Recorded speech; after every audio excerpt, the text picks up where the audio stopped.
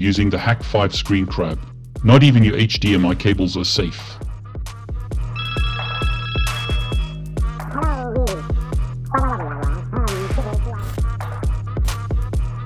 This covert inline screen grabber sits between HDMI devices like a computer and a monitor to quietly capture screenshots and video.